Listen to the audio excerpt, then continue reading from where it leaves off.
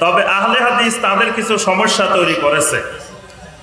যে সমস্যাগুলো হলো, সমাজে তাদের যে কায়েমি, স্বার্থবাদী সংশ্লিষ্টতা মানে সুন্দরভাবে সমাজে যে স্বার্থগুলো তারা প্রতিষ্ঠিত করে, শিরিক বেদাতের সাথে ঐক্য পোষণ করে, যেইভাবে তারা ঐক্য করে নিছেন, এই ঐক্যের মধ্যে আঘাত এনেছে।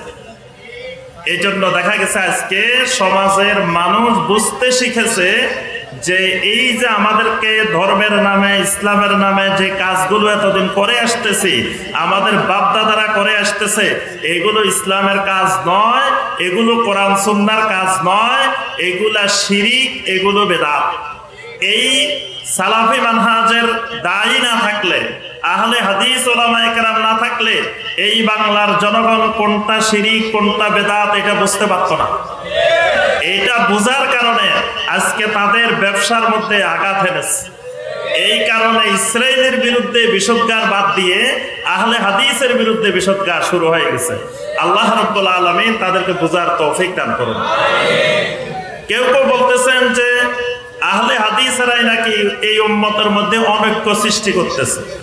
যে এরা আসছেই নাকি উম্মতকে বাঙ্গন সৃষ্টি করার জন্য, উম্মতের মধ্যে অনৈক্য সৃষ্টি করার জন্য।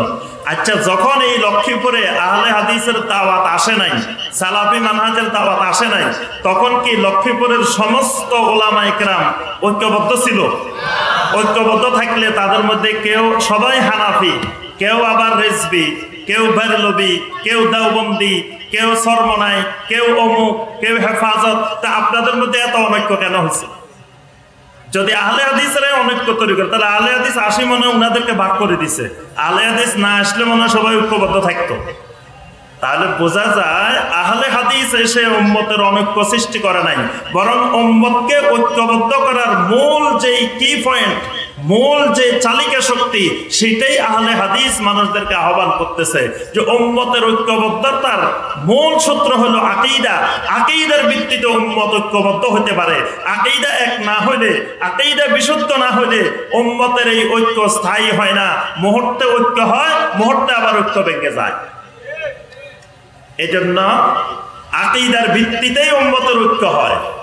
আকিদা এক না হইলে, দেখেন হানাফি হানাফির মধ্যে কত গ্রুপ এত গ্রুপ হওয়ার কারণ কি? তাদের ফেকি মাসালা এক। কিন্তু তারা আকিদার ক্ষেত্রে গিয়ে ভিন্ন ভিন্ন হয়ে গেছে।